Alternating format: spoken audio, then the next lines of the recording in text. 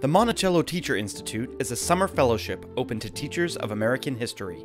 Participants collaborate in creating original material for Monticello's digital classroom and Sea of Liberty websites while immersing themselves in reflection, learning, and the power of place. This is not just sitting in a library. It's not just listening to lectures. It's not just taking notes, but it's experiencing content in almost a living aspect. Traveling through different experiences that Jefferson, his families, enslaved peoples would have had, learning more about the daily working life of Monticello today, because it's very much still alive, and still being able to develop and create really good instructional materials without going to just a professional development conference or seminar that's only instructional matters. And I have had the opportunity to have, um, you know, day-long professional developments or, you know, weekend-long professional developments. And I've considered myself lucky because there are some, you know, really great institutions that kind of have their hands on. But I have never had the opportunity to spend a week and fully immerse myself in, in the world of an individual that I study with my students or a historical event um, in this way, where there are so many experts at your fingertips who are willing to help you with everything. As a teacher, this program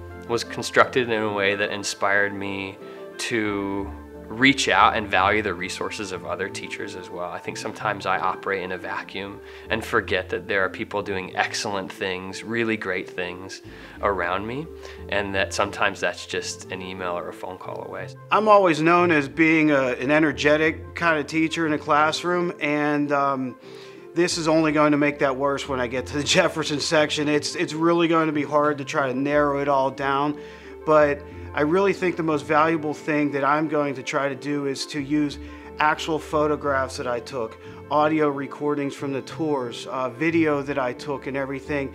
And there's no doubt that kids get that connection when you can say, oh yeah, you see this, you see this on this website? Well, it was a foot in front of me. Or when I say get an interactive text going and it talks about slavery and I say, well, click here if you want to hear what it's like to be a slave at Monticello I, I, just think for them to know that, that there's somebody in front of them and guiding them that was there and experienced it all is really going to help them. It's the institute has way um, exceeded my expectations more than I could even imagine. We've just been immersed in Thomas Jefferson this week, and it's been unlike any other institute I've ever attended, and, and just more understand. Just walking in his steps this week has just been amazing. Just hearing these stories and everything like that has just made him come even more alive for me, and I can't wait to bring these stories back to my students. Um, I think that the teachers that will be technically graduating from this program um, this week and those that have come before us and after us can act as, as sort of Thomas Jefferson ambassadors for the program here to bring new blood, new faces to the mountain, but also, if they're very far away, like teachers in California, to be kind of a regional expert to help other teachers out with local professional development trainings. The websites are loaded with materials and there's even more on the way to be, to be supplemented. I'm particularly fond of the other ed educators with whom we've worked and I've worked over the, over the past week.